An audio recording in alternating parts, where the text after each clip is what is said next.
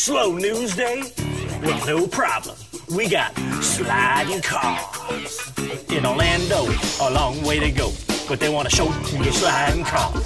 MSNBC, the place of politics. But not today, they got sliding cars. Dead model in a trash can. Huh, don't give a damn sliding cars. A deep freeze in Leeds. They're gonna show you the sliding cars.